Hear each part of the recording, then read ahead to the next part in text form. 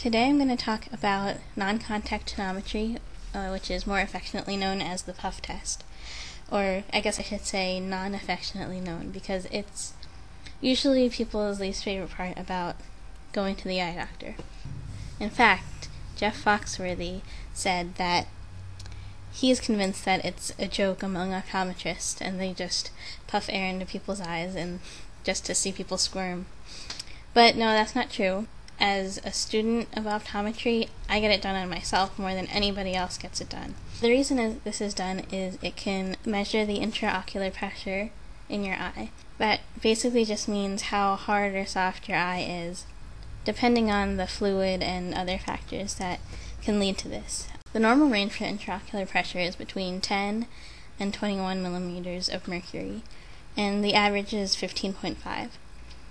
Um, but this doesn't mean that your pressure should be 15.5. The reason it has to be done every year is you have to find a baseline for your own eyes. If year after year you get 10 millimeters of mercury, and then one year you get 15.5, that's actually going to be high. The big deal is the change in intraocular pressure.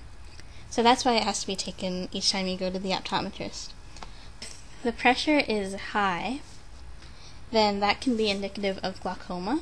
High blood pressure could lead to damage of the optic nerve and it could also lead to visual field defects, which just means you lose certain parts of your vision. All these things are very preventable if it's found, and a change in your intraocular pressure is going to be the first sign most of the time. And if you fix that right off the bat, you won't even experience any of the other symptoms.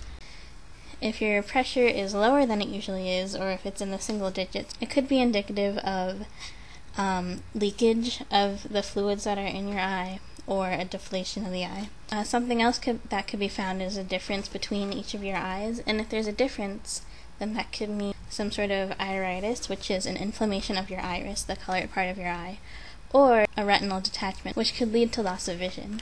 Okay, so how this works. The pressure of the puff of air is actually uh, well defined across time. I know it seems like it's a millisecond and nothing can change during that millisecond, but the force of the puff of air changes and as kind of a bell curve um, over the course of that millisecond. At some point during that millisecond, your your cornea is going to flatten. It will flatten quicker if your eye pressure is low. It will take more force if the pressure in your eye is high. So the way it's measured is there's a light source that comes in with the puff of air. Like usually you're told to look at the green light. That green light is going, going to be reflected off your cornea. And when your cornea is flattened out, it will make the correct angle for the receiver, whatever the receiver may be, to receive the light, and it'll be at this certain angle. So this is all figured out in, in the machine beforehand. So all you have to do is make sure that you're sitting straight. And that's how it's done. So this test is a nice quick test and it's non-invasive and it's really not that bad if you're expecting it. So this test is just a fast way to check the pressures of your eye.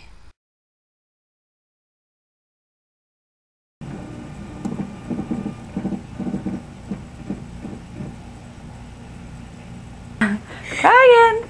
I'm putting this in the video. Take two.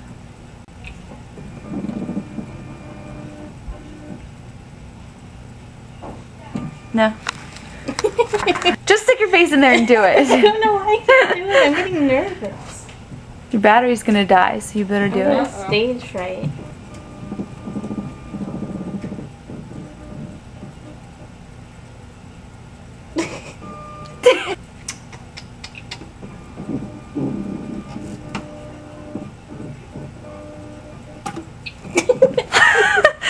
It got you, ha!